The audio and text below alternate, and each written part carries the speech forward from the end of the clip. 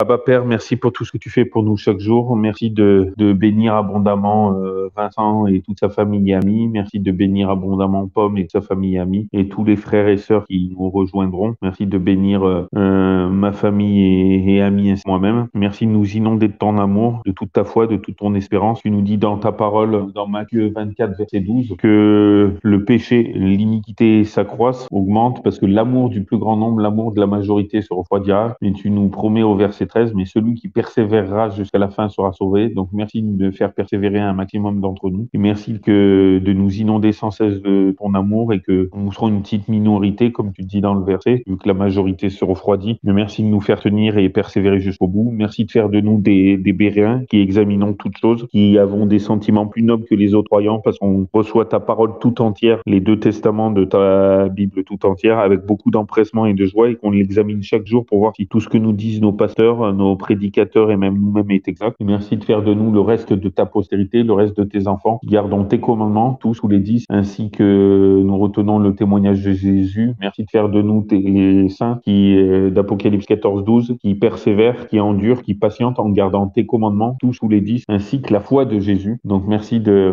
et merci de nous faire comprendre ta parole et merci que nous puissions la mettre en pratique surtout. Et euh, comme tu le dis aussi dans ta parole, à ceux-ci tous connaîtront que nous sommes tes disciples si nous avons de l'amour les uns envers les autres. Donc merci d'accomplir cela en chacun de nous. Nous dis euh, que tout est possible à celui qui croit, que tout ce que nous demanderons avec toi par la prière, nous le recevrons, car rien n'est impossible à toi, mon Dieu. Donc merci pour toutes ces belles promesses et merci de faire infiniment au-delà de tout ce que nous savons te demander et penser. Au nom de Jésus, Amen. Alors, Amen. Tout de suite. Ouais, tout de suite. Donc alors, euh, ce soir, on va voir euh, des enfants courageux suivre euh, Jésus quoi qu'il arrive. C'est la semaine de prière, mais pour enfants, pour les jeunes générations. Alors, on va voir en huit parties. Première partie, c'est Dieu a une mission spéciale pour toi. Deuxième petite partie, une bonne nouvelle pour tout le monde. Troisième petite partie, détourne-toi du péché. Quatrième petite partie, adore le Créateur en observant son sabbat. Euh, cinquième petite partie, éloigne-toi de la fausse adoration. Sixième petite partie, reste fidèle à la Bible. Septième petite partie, l'amour de Dieu triomphe. Et huitième et dernière petite partie, un reste. À chaque fois, il y a une histoire euh, vraie, une parabole ou une histoire vraie pour chaque petite partie. Alors, euh, première petite partie, Dieu a une mission spéciale pour toi. Donc ça, ça parle à chacun de nous. Alors, nous allons voir Apocalypse 10, verset 11. Pour, à chaque fois, je prends un verset pour chaque petite partie, un verset minimum. Donc, Apocalypse 10, verset 11 nous dit, dans la version Osterwald, alors il me dit, il faut que tu prophétises encore sur un grand nombre de peuples et de nations et de langues et de rois. Amen. Et pour voir, ça c'est une version euh, littérale. Pour voir, euh, on va voir euh, version parole de vie ou c'est une version dynamique. Il y a littéral, semi-littéral, c'est entre les deux. Et version dynamique nous dit comme parole de vie, par exemple. Ensuite, on me dit, tu dois encore parler au nom de Dieu, au sujet de beaucoup de peuples et de pays, de beaucoup de gens, de toutes langues et au sujet de beaucoup de rois. Amen. C'est un peu la même chose. Donc là, je vais vous lire la petite histoire, hein, donc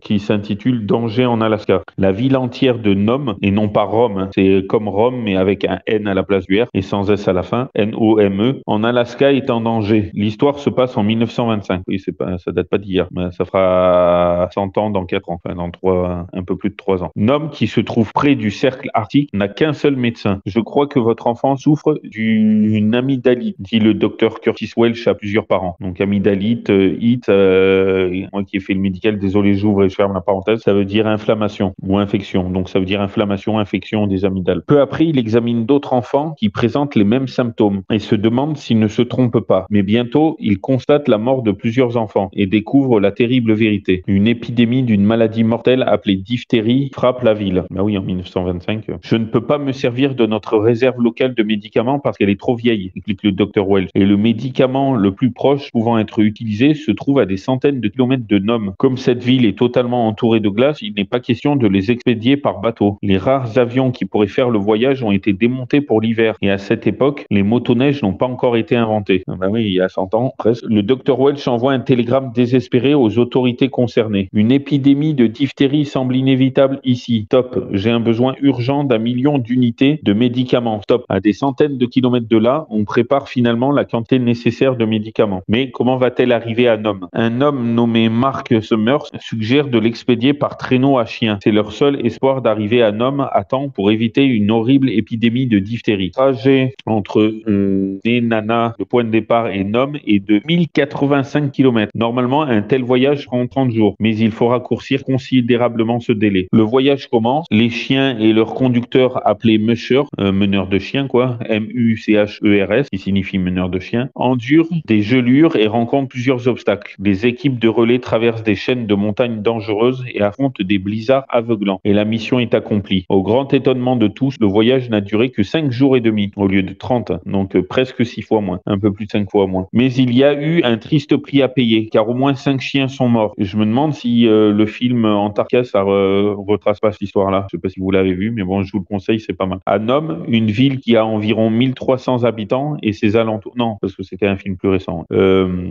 à Nome, une ville qui a environ 1300 habitants et ses alentours, 10 000 habitants, on compte finalement moins de 10 décès dus à la diphtérie. Et tout ça grâce à une mission de sauvetage que des gens courageux ont accepté et accompli. Donc euh, c'est énorme. Mais bon, j'aimerais euh, vous faire quelques petits sujets de, de réflexion, mais c'est valable pour moi aussi. On dit que c'est pour les enfants, mais les questions sont quand même assez. Euh, donc As-tu déjà été envoyé en mission spéciale? Si oui, laquelle? Bon, ben c'est à chacun de nous de répondre. Moi personnellement, et pourtant je suis l'un des plus vieux du Zoom, enfin sur sur ce serveur en tous les cas, ma connaissance. Et donc sur les 100 et quelques membres, je suis le plus vieux et j'ai jamais été envoyé en mission spéciale. Enfin pas par mon église en tous les cas, par Dieu, euh, par Dieu peut-être en faisant des études bibliques, je sais pas ou peut-être les idées, mais bon bref. Bon là à vous chacun d'y répondre. Alors que pensons-nous de l'idée selon laquelle nous faisons partie d'un groupe spécial appelé à aider les autres à être prêts pour le retour de Jésus Oui. Euh, ben un groupe spécial. Après euh, quand je vous dis euh, tous ceux qui attendent le retour de Jésus, ils sont adventistes, même s'ils sont pas tous adventistes du septième jour, parce que adventiste ça,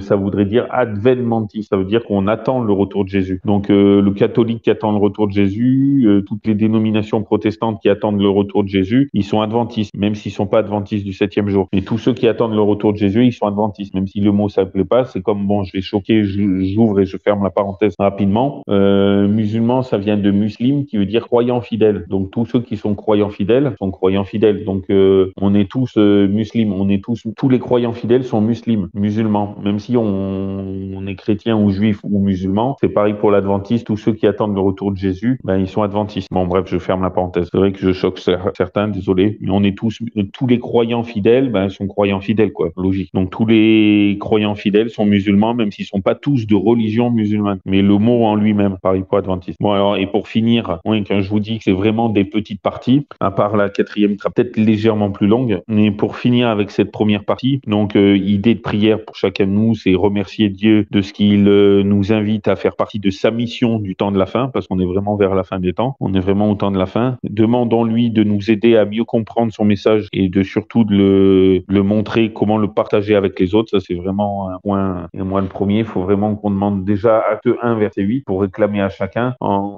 lisant pour euh, chacun de nous ce soir. Mais nous recevons une puissance, la puissance de ton Saint-Esprit survenant sur nous, et nous serons tes témoins dans chacune de nos villes, dans chacun de nos pays, jusqu'aux extrémités de la terre, en l'actualisant pour nous. Bon, voilà. Donc Dieu a une mission spéciale pour chacun de nous, pour moi, pour toi, pour, euh, pour vous, pour nous, chacun de nous. Quand il dit à Isaïe, euh, qui enverrai-je? Isaïe lui dit, moi, Seigneur, envoie-moi. Et après, tous ceux qu'il envoie, il qualifie et il qualifie, pour la mission. Parce que de nous-mêmes, il nous dit bien dans Jean 15, verset 5, la fin du verset, sans moi, vous ne pouvez rien faire, Jésus parle. Donc sans lui, nous ne sommes rien. Et sans lui, nous pouvons rien. Alors, deuxième petite partie, c'est une bonne nouvelle pour tout le monde. Et puis là, bon ben, désolé, je vais donc je vais lire Apocalypse 14, verset 6. Et je vis un autre, euh, Osterwald, version Osterwald. Et je vis un autre ange qui volait au milieu du ciel, portant l'évangile éternel pour l'annoncer à ceux qui habitent sur toute la terre, à toute nation et toute tribu et toute langue et tout peuple. Amen. Et la version donc euh, la version parole de vie est dit donc Apocalypse 14 6 pour voir la différence entre euh, littéral et dynamique. Puis je vois un autre ange qui vole très haut dans le ciel. Il doit annoncer aux habitants de la terre une bonne nouvelle qui est pour toujours.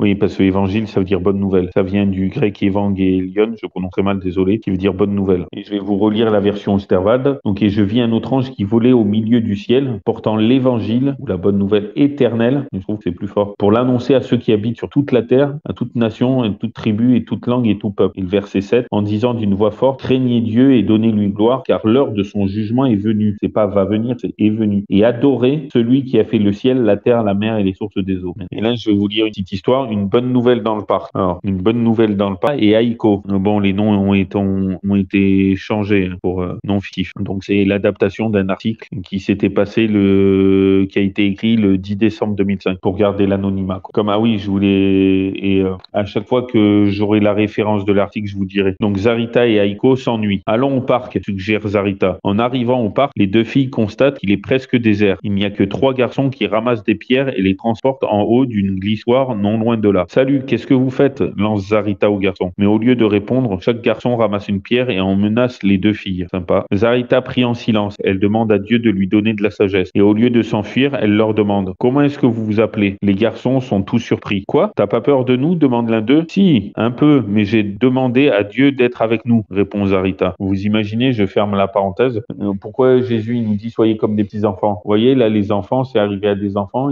parce que l'enfant, il a plus de foi que, nous, souvent. La foi des enfants est grande, et euh, quand le père, il dit quelque chose aux enfants, que ce soit fille ou garçon, eh ben, ils le font sans poser de questions et sans réfléchir. Nous, quand Dieu nous dit quelque chose, on réfléchit, ouais, mais hein, est-ce que tu crois que c'est bon? Est-ce que, bon, bref, je ferme ma parenthèse. Là, ils obéissent sans réfléchir et ils font confiance totalement. Et ils cherchent pas à comprendre. Ils obéissent sans réfléchir. Voilà ce que c'est que les petits enfants. On en est loin et moi le premier. Donc, euh, Zarita répond, si, un peu, mais j'ai demandé à Dieu d'être avec nous. Maintenant, ces gamins sont vraiment déboussolés. Ils laissent tomber leurs munitions, entre guillemets, et descendent de la glissoire. Au même moment, Zarita entend une voix lui murmurer Zarita, parle-leur de Dieu, ils vont t'écouter. Zarita regarde autour d'elle et on dirait qu'Aiko prie elle aussi, mais il n'y a personne d'autre en vue. Les trois garçons s'approchent des filles et leur disent leur nom. Quelques minutes plus tard, Zarita et Aiko leur parlent de Jésus et ils les écoutent. Finalement, l'un des garçons demande aux deux filles de prier. C'est énorme. À la fin de la prière, il prie à son tour et demande à Jésus de lui pardonner. C'est des histoires vraies hein, que je vous dis, c'est des trucs euh, missionnaires. Hein, de retour à la maison, Zarita dit à son ami Tu sais, Aiko, au parc, j'ai entendu une voix comme un murmure dans ma tête. Elle m'a dit de parler de Jésus à ses garçons. c'est pour ça qu'il faut qu'on se laisse euh, qu'on se laisse diriger par l'esprit. Aiko écarquille les yeux. Ça alors, moi aussi, s'exclame-t-elle. Et les deux amis remercient Dieu pour l'occasion qu'elle leur a donnée de partager sa bonne nouvelle. C'est énorme. Et j'aimerais vous raconter une autre histoire vraie aussi que un frère m'a raconté ce matin à l'église. Euh, non, cet après-midi, il y avait un truc. Donc il y a quelques heures. Donc il, m'a il m'a dit une histoire vraie. Hein. Il était colporteur. Donc colporteur, il faisait du porte-à-porte. Puis il me dit ah ben toi tu bon il me dit c'est dommage ça n'existe plus comme travail. Et puis je dis ah j'aurais été incapable moi qui suis timide. Là ça va c'est facile. Je fais par téléphone, on me voit pas. Euh, et puis bon même s'il y en avait des centaines qui étaient, euh, je les vois pas donc je ne stresse pas. Il fallait que je prêche devant une cinquantaine ou une centaine de personnes. Bon ça m'arrive d'animer le mardi soir à mon église, mais on est 7 à 10 plus euh, 4 ou 5 sur Zoom maximum. Donc euh, ça va quoi. Euh, c'est gérable. Par contre si je devais faire un sabbat matin, un samedi matin, là ça serait autre chose. Là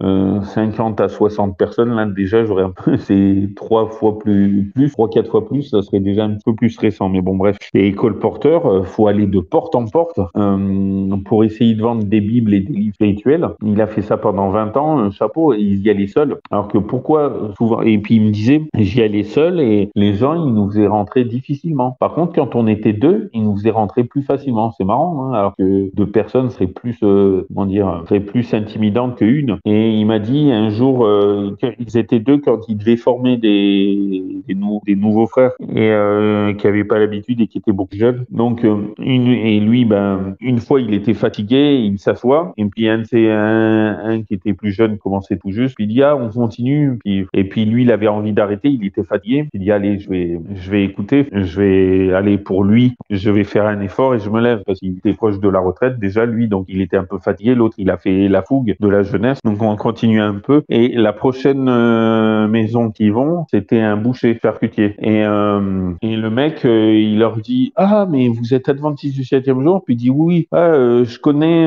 j'ai fait le plan de cinq jours avec vous. C'est dommage, ça se fait plus entre parenthèses. C'est un plan de cinq jours, un, un grand fumeur, 90% ou 95, je crois, ou 98, faudrait que je me renseigne. 90, 90 minimum et 98 maximum. Euh, des gens qui ont fait ce plan de 5 jours, et eh ben ils arrêtaient de fumer en 5 jours. Et même des gens non spirituels, s'ils décidaient d'arrêter de, fumer, et eh ben en 5 jours et plus de 10 ans après, il y en a, ben il y avait que les les 2 ou 10% qui reprenaient. C'est pour ça qu'on sait que ça a 90 à 98% de réussite. Et sans, enfin bon bref, c'est un plan de 5 jours que mon église faisait. Malheureusement, ils font plus parce qu'il y a plus le temps, il y a pas, il y a peut-être pas assez de psychologues. Et bon bref, ce, ce, ce gars, il avait fait le plan de 5 jours avec euh, l'église. Puis il dit ah c'est trop fort, euh, je vais vous remercier. Il leur a fait tous les livres. Et il disait c'est dommage, je vous ai perdu de vue. Et c'était gratuit ce plan et c'est dommage, il devrait le faire parce qu'il y avait plein de collègues de travail euh, qui sont fumeurs, qui enfin, il me disait ah si un jour ça se refait, très intéressé. Dis oui. Et pourtant, des et plein de personnes qui étaient athées qui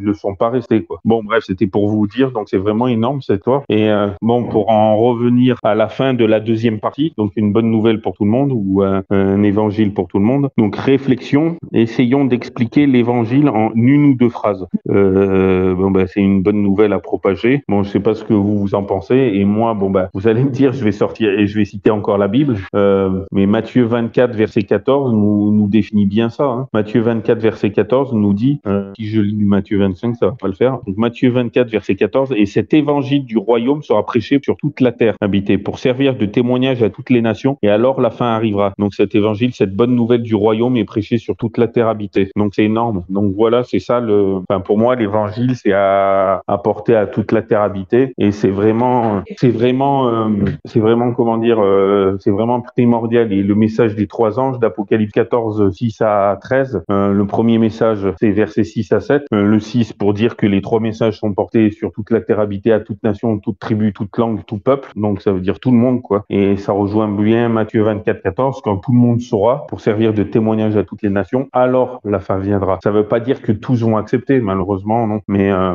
mais Dieu, il aimerait qu'ils acceptent tous. Parce que 1 Timothée 2, verset 3 à 4, cela est bon et agréable devant Dieu, notre Sauveur, qui veut que tous les hommes soient sauvés et parviennent à la connaissance de la vérité. Et c'est comme s'il disait, et parviennent à la connaissance de Jésus, vu que dans Jean 14, verset 6, Jésus nous dit qu'il est le chemin, la vérité et la vie. Ne vient au Père que par lui. Donc euh, c'est vraiment, c'est vraiment énorme. Euh, ouais, il aimerait qu'on accepte tous, mais il nous aime tellement qu'il nous laisse le libre euh, choix, le libre arbitre. Ça me fait penser, juste, je vais vous lire aussi Deutéronome 30, verset 15 à 20, qui nous dit, c'était pas prévu, mais bon, il y a des versets qui me viennent en plus, et c'est vrai qu'ils sont bien ceux-là. Deutéronome 30, verset 15 à 20. Regarde, j'ai mis aujourd'hui devant toi la vie et le bien, la mort et le mal, car je te commande aujourd'hui d'aimer l'Éternel, ton Dieu, de marcher dans ses voies et d'observer ses commandements, ses statuts et ses ordonnances, afin que tu vives et que tu multiplies, et que l'Éternel, ton Dieu, te bénisse au pays où tu vas le posséder, pour le posséder, pardon. Mais si ton cœur se détourne et que tu n'obéisses pas, et que tu ne te laisses aller à te prosterner devant d'autres dieux et à les servir, je vous déclare aujourd'hui que vous périrez certainement, vous ne prolongerez point vos jours sur la terre où tu vas entrer en passant le Jourdain pour la posséder. Je prends aujourd'hui les cieux et la terre à témoin contre vous que j'ai mis devant toi la vie et la mort, la bénédiction et la malédiction. Choisis donc la vie afin que tu vives toi et ta postérité, en aimant l'Éternel ton Dieu, en obéissant à sa voix et en demeurant attaché à lui, car c'est lui qui est ta vie et la longueur de tes jours, en sorte que tu habites sur le sol que l'Éternel a juré de donner à tes pères Abraham, Isaac et Jacob. Amen. Donc il a mis euh, la vie et la mort, la bénédiction et la malédiction, le bien et le mal, mais il nous demande de choisir la vie parce qu'il veut qu'on vive, il aimerait qu'on soit tous sauvés. Mais il nous aime tellement qu'il nous laisse choisir. Quoi. Donc c'est l'ennemi qui veut nous faire croire que Dieu est sévère, euh, alors qu'il est amour, il est miséricordieux, il pardonne tout.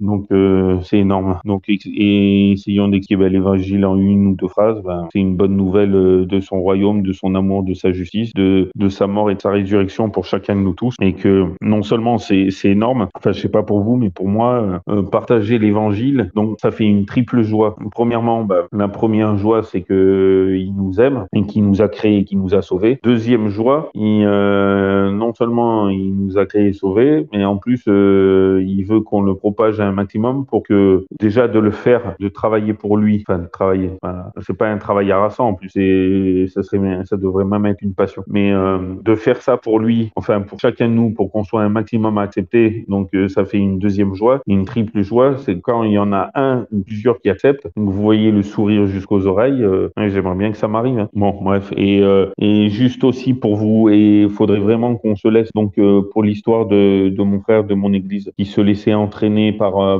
son collègue qui a bien fait de le suivre. Hein. Vous voyez comme quoi des fois même des jeunes qui n'ont pas d'expérience, eh ben il s'est laissé diriger alors que s'il avait été tout seul, il aurait arrêté, il aurait jamais pu parler à ce gars et qui avait perdu de vue l'église et qui voulait remercier euh, parce que c'était gratuit ce plan en cinq jours. Puis il a dit ah, je fais des économies, il fumait beaucoup et il a acheté tout leur stock de livres. C'est énorme.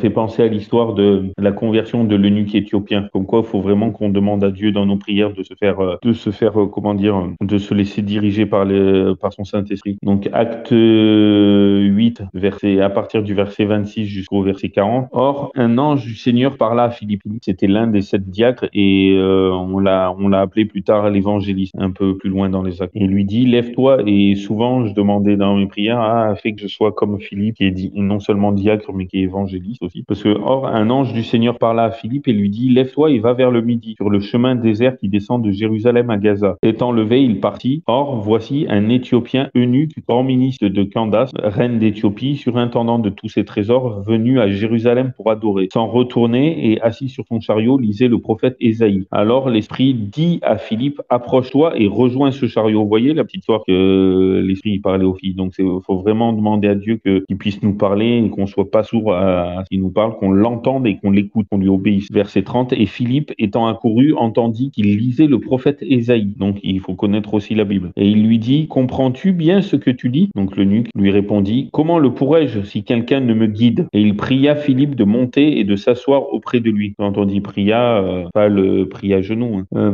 le verset 32, or le passage de l'écriture qu'il lisait était celui-ci. Il a été mené à la tuerie comme une brebis et comme un agneau muet devant celui qui le tond, il n'a pas ouvert la bouche. Sa condamnation a été levée dans son abaissement, mais qui pourra compter sa durée Car sa vie a été retranchée de la terre. C'est Isaïe 53, verset 7 euh, à 8, si vous voulez vérifier chez vous. Et l'eunuque prenant la parole dit à Philippe, je te prie, de qui le prophète dit-il cela? Est-ce de lui-même ou de quelqu'un d'autre? Philippe prenant la parole et commençant par cet endroit de l'écriture, lui annonça l'évangile de Jésus, la bonne nouvelle de Jésus. Et comme ils continuaient leur chemin, ils rencontrèrent de l'eau. Et l'eunuque dit, voici de l'eau, qu'est-ce qui m'empêche d'être baptisé? Et Philippe lui dit, si tu crois de tout ton cœur, cela t'est permis. Et l'eunuque répondant, dit, je crois que Jésus-Christ est le Fils de Dieu. Et il commanda qu'on arrêta le chariot, et ils descendirent tous deux dans l'eau, Philippe et l'eunuque, et Philippe le baptisa. Mais quand ils furent ressortis de l'eau, l'Esprit du Seigneur enleva Philippe, et l'eunuque ne le vit plus, car il continua son chemin plein de joie, plein de joie. Et Philippe se trouva dans Azote, et il évangélisait par toutes les villes où il passait, jusqu'à ce qu'il vint à Césarée. Amen. C'est énorme, c'est énorme. Et euh, ben, je sais pas vous, mais qu'est-ce que j'aimerais être comme Philippe, me laisser diriger par l'Esprit et convaincre plein de plein de personnes à, Christ, ce serait vraiment, ce serait trop royal. Euh, du coup, 21 pour voir euh, Philippe. Donc acte 21, verset, vers, à partir du verset 6 jusqu'au verset 9 ou 10, acte 21. Et après nous être embrassés les uns les autres, nous montâmes sur le vaisseau et ils retournèrent chez eux. Achevant notre navigation de tir, nous vîmes à Pnolémaïs, désolé pour la prononciation, et après avoir salué les frères, nous demeurâmes un jour avec eux. Écoutez bien le verset 8. Le lendemain, le lendemain, Paul et nous qui étions avec lui étant partis, nous vîmes à Césarée et étant entrés dans la maison de Philippe l'évangéliste, qui était l'un des sept diacres, nous logeâmes chez lui. Donc Philippe, euh, qu'on parlait au acte 8. Il avait quatre filles vierges qui prophétisaient. Comme nous demeurâmes là plusieurs jours, un prophète nommé Agabus descendit, etc. Donc quand on dit que le dernier prophète euh, c'est Jésus, ben il y a les quatre euh, vierges diacres évangélistes, l'un des sept diacres, plus Agabus. En homme, il y avait Agabus. Donc désolé, j'ouvre et je ferme la parenthèse rapidement. Quand nos frères et sœurs musulmans ils disent ouais, nous on accepte tous vos prophètes, alors pourquoi vous acceptez pas le nôtre? Sauf que non, ils acceptent pas tous nos prophètes. Hein. Ils n'ont pas accepté Agabus et en plus ils n'ont pas accepté les prophètes femmes de la Bible. Dans le Premier Testament, désolé, j'ouvre et je ferme la parenthèse, il y avait euh, Déborah, la première juge femme, et euh, qui était la quatrième juge. Il y a eu trois juges hommes avant elle, et elle, c'était la seule euh, et la première et dernière juge femme qui était en plus prophétesse. On a son histoire dans Juge chapitre euh, 4 à 6. Euh, ensuite, il y a eu Hulda, euh, il y a eu Élie et Élisée comme prophète. Ensuite, c'est entre Élisée et Nathan qu'il y a eu Hulda, prophétesse. Et ensuite, on trouve son histoire dans Deux Rois, mais j'ai plus le passage pour une fois. Et il y a aussi, donc ça, ça fait déjà deux dans le Premier Testament. Et dans le Nouveau Testament, il y a Anne, la prophétesse, quand les parents de Jésus ils viennent pour le porter au temple, pour le présenter devant le Seigneur. Et ben il y a Siméon, un vieux monsieur, qui dit ah ben je, je peux mourir, j'ai Seigneur. Et il la prophétesse, qui a 84 ans, qui est veuve depuis un bout de temps, prophétesse aussi. comme quoi il y a des prophètes femmes aussi. Et ça, ben et ça, je pense pas que nos frères et sœurs musulmans ils l'acceptent. Bon bref. Et puis ben là, on vient de voir les quatre filles euh, vierges de, de Philippe, l'un des sept diacres, Philippe l'évangéliste, qui prophétisait, et Agabus. Bon bref, je ferme la parenthèse. Euh, donc pour dire que c'était vraiment un homme de bien, que ces quatre filles vierges prophétisent. Il savait bien mener son foyer. Alors maintenant, c'est un peu plus compliqué. Bon, désolé, je ferme la parenthèse. Alors, euh, avons-nous du... Non, sommes-nous pas, pas avons-nous. Sommes-nous mal à l'aise à l'idée de partager la bonne nouvelle de l'amour et du salut de Jésus? Là, c'est à chacun de répondre. Euh, si oui, pour quelle raison Nous mal à l'aise? Moi, personnellement, euh, oui et non. J'essaye de, comme Paul dit à Timothée, insiste à toute occasion favorable ou non. Mais après, Jésus dit bien dans Matthieu aussi de ne pas jeter des perles au seau de peur qu'il les... se retournent, les foule et nous mettent en pièces. On essaye à chaque fois que vous croyez, croyez, que vous croisez, pardon, une personne devant votre entourage, vous savez que vous ne verrez jamais, priez dans votre cœur pour dire c'est ce que j'essaye de faire un maximum, mais des fois pris, pris sur le cours, j'y pense pas et après j'y mince, j'ai loupé une occasion. Ben, essayons de prier dans nos cœurs pour dire au Seigneur, ben Seigneur, fais-moi trouver les bons mots au bon moment pour toucher cette personne, ce ou ces personnes, ou les bons actes. Et des fois, ben la personne, elle tend la perche elle va dire, je sais pas, ah, tiens, avec euh, tout ce qui se passe aujourd'hui, il y a plus de croyance, plus d'espérance. Et ben là, ah tiens, il m'a tendu une perche. Ouais, enfin, moi j'ai pas trop peur. Il va te dire pourquoi? Ben parce que je crois en Dieu. Euh. Et puis une fois, une personne, euh, je disais, ben au tout début qu'il y avait le, le Covid, je sais plus comment c'est venu. Puis il disait, oui, avec tout ce qui se passe. Puis je dis, vous avez pas l'air effrayé? Non. Il dit pourquoi? Il dit, ben, je dis, ben si je suis malade, si je tombe malade, je sais que Dieu peut me guérir. Et s'il me guérit pas, ben bon, je sais qu'il peut m'empêcher de tomber malade. Et si je tombe malade, ben il peut me guérir. Et s'il me guérit pas, ben au moins je le verrai plus vite. il a, il a, il a souri un peu, Ben, mais bon, voilà, des, des fois des petits mots comme ça. Bon, bref, je ferme la parenthèse. Sinon, euh, à l'aise, euh, oui et non. Hein. C'est une personne que je vais voir 20 euh, secondes, que c'est en marchant, ben non, je je pourrais pas lui parler comme ça. Par contre, si c'est une personne que, par exemple, je suis en salle d'attente d'un médecin, s'il y a plusieurs personnes, j'aurais du mal. Par contre, s'il y a que elle et moi, peut-être je pourrais y arriver, mais bon, en priant, quoi. Mais euh, ouais, je suis pas un bon évangéliste, malheureusement. En tout cas, c'est clair que j'aimerais partager la nouvelle et un maximum. Bon, comme idée de prière, ben, faudrait qu'on de, que nous demandions à Dieu de, nous montrer ce que l'évangile signifie réellement dans nos propres vies, qu'on prie euh, notre Seigneur de nous rendre prêts à partager cet évangile chaque fois que l'occasion se présente et qu'il nous donne plein d'occasions. Bon, on va passer à la troisième petite partie. Celle-là était un peu plus longue, hein, la deuxième. Donc, détourne-toi du péché. parce que Dieu, il m'en a, il m'en a, il m'a donné plusieurs versets en plus. Le premier, non. Donc, Apocalypse 14, verset 7 nous dit, en disant d'une voix forte, craignez Dieu et donnez-lui gloire, car l'heure de son jugement est venue et adorez celui qui a fait le ciel, la terre, la mer et les sources des eaux. Amen. Donc, le Créateur. Et le version parole de vie, donc euh, dynamique, nous dit, respectez Dieu. Vous voyez, au lieu de craindre Dieu, euh, dit, euh, donc, respectez Dieu. Oui, c'est le moment où il va juger. Bon, il y a point de suspension. Oui, c'est le moment où il va juger le monde. Ouais, c'est vraiment un peu raccourci. Donc, je vais vous lire une histoire. Donc, un fauteur de troubles rencontre Jésus. C'est toujours des histoires vraies. C'est ça qui est hallucinant. C'est pour ça que je voulais partager ça avec vous. C'est des histoires vraies. Enfin, je sais pas vous, mais moi, ça m'encourage. Bon, un fauteur de troubles rencontre Jésus dans une salle où le père de Karl, un pasteur adventiste, est en train de parler de Jésus. Trois hommes en colère entrent en coup de vent. On vous donne dix minutes pour sortir d'ici, crie l'un des hommes. Les trois sont armés d'un fusil, d'un couteau et d'une longue barre de fer. On revient dans dix minutes. Si vous êtes encore là, on va vous donner une bonne raclée, avertit le méchant homme. Sur ce, les trois fauteurs de troubles s'en vont. Qu'est-ce que papa va faire? se demande Karl. Est-ce qu'il va arrêter de parler et dire à tout le monde de s'en aller? Au lieu de cela, son père continue de prêcher. C'est énorme ça. En, environ dix minutes plus tard, les trois individus reviennent. Karl les dévisage. Ils sont vraiment en colère maintenant, pense-t-il. Karl se retourne ensuite vers son père. Ce dernier regarde les trois intrus tout droit dans les yeux. J'aurais pas eu le prendre. Soudain, ils se mettent à trembler, puis reculent et décampent. Quelques semaines plus tard, le père de Karl célèbre un baptême dans une rivière non loin de là. À la surprise de tous, l'homme qui avait tenu la longue barre de fer se présente à la cérémonie de baptême. Il s'approche du père de Karl. Pasteur, dit-il, je veux être baptisé moi aussi, mais je ne suis pas encore prêt, j'ai été un homme très méchant. Est-ce qu'un homme comme ça peut vraiment changer et servir Jésus se demande Karl. Pas son père pasteur, hein, c'est le petit garçon qui demande. Mais à son grand étonnement, quelques semaines plus tard, le père conduit cet homme dans la rivière et le baptise. Karl est vraiment fier de son père et il n'en revient pas de ce qui peut arriver quand quelqu'un choisit de se détourner du mal et de suivre Jésus. Trop fort. Adaptation de l'article de Barbara Westphal, Deadly Priest, euh, du 15 décembre 2001. Donc euh, c'est énorme. Et moi, j'aurais aussi une histoire vraie. Euh, ma, euh, mon ex-femme, une de ses sœurs, parce qu'ils étaient 12 dans famille, et c'était la dernière des 12 enfants. Donc une de ses sœurs, celle qui était tout de suite avant elle, donc trois ans de plus, ils avaient tous trois ans d'écart. Donc sa plus vieille sœur, elle a, elle a 20 ans de, de plus. Et son plus vieux frère, presque 30 quoi. bon bref, donc la plus jeune de ses sœurs, mais plus vieille qu'elle, et ben une fois, son mari était, euh, était comment dire, était athée, mais plus que 100% athée. Il était même anti-dieu, même limite satanique. Et, euh, et la sœur euh, la plus âgée des sœurs de, de mon ex-femme, elle voulait faire une étude biblique à, à elle, la plus jeune de, euh, de ses sœurs, enfin la, la, deuxième plus jeune. Et, euh, et ben lui, lui, ben il n'était pas d'accord. Il dit non, non, je refuse, je veux pas que tu fasses des, des études bibliques à ma femme. Ah, attends, je vais prendre le physique, je vais te faire des guerres pierres. Et puis elle l'a regardé droit dans les yeux, elle m'a raconté. Donc c'est une histoire vraie et mon ex-femme a confirmé et même lui après. Euh, elle a dit mais tu sais, euh, vas-y, prends ton fusil. Si Dieu il a décidé comme ça, ben ben, je suis prêt à mourir pour sa cause. J'ai pas peur de toi, tu me fais pas peur. Et, euh, et sinon, bah, il est resté tellement stupéfait que bah, il a plus rien dit, il a laissé faire. Et lui dit, mais elle lui dit, mais tu sais, bon, je vais pas trop dire les, prénoms, mais elle dit, mais tu sais, toute parole que tu dis, c'est écrit. Toutes tes actions que tu dis, c'est écrit, c'est enregistré. Et puis, ben après, il,